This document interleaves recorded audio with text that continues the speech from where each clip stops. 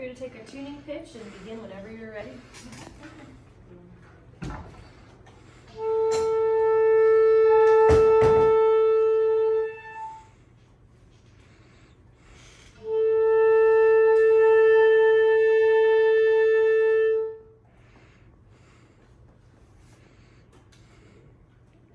Hi, my name is Savannah Mickelson, and I'm a senior at Enumclaw High School. I'm Matthew Helmer. I'm also a senior at Enumclaw High School.